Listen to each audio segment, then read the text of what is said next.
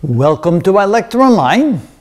The next four identities are again really, really important in trigonometry and you definitely should remember what's inside the box or memorize what's inside the box.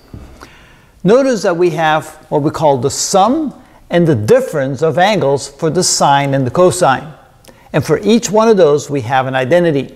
So the sine of a plus b is equal to the sine of a times the cosine of b plus the cosine of a times the sine of b. Notice that the signs match when we're dealing with the sine.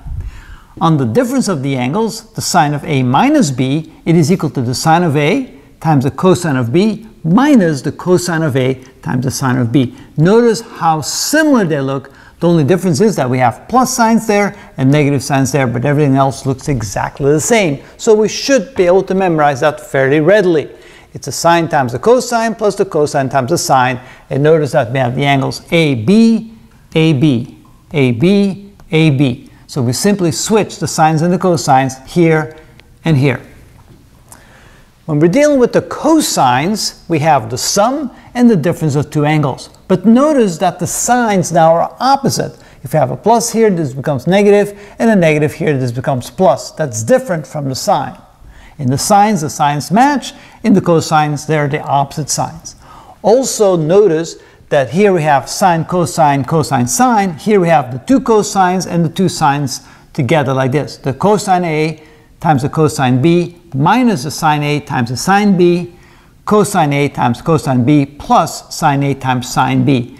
The angles are still first angle, second angle, first angle, second angle, just like there, but here we have the cosines together and the sines together. Here we have alternate sine, cosine, cosine, sine. So those are the four identities, the sine of a plus b, the sine of a minus b, the cosine of a plus b, and the cosine of a minus b. And again, really good if you could memorize that. Now as an example, or a couple examples, let's say we have the sine of 30 degrees plus 45 degrees. That adds up, of course, to 75 degrees. Well, how do we find the result of that? Well, we take the sine of the first angle times the cosine of the second angle plus, because it's sine, the signs match, the cosine of the first angle times the sine of the second angle. So the sine of 30 degrees is 1 half. The cosine of 45 degrees is square root of 2 over 2. The cosine of 30 degrees is square root of 3 over 2. And the sine of 45 degrees is square root of 2 over 2.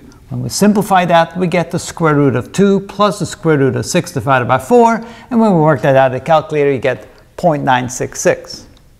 Now, when you take the sine of 75 degrees with the calculator, you get the exact same value, so it does appear to work. How about the cosine of the difference of two angles, 45 degrees minus 30 degrees, which is 15 degrees? Well, we get the cosine of the first angle times the cosine of the second angle, plus, because the signs are different, when we deal with the cosine, so this becomes a plus here. Then we have the sine of the first angle times the sine of the second angle. So again, the cosine of 45 degrees is square root of 2 over 2. The cosine of 30 degrees is square root of 3 over 2. The sine of 45 degrees is square root of 2 over 2. And the sine of 30 degrees is 1 half.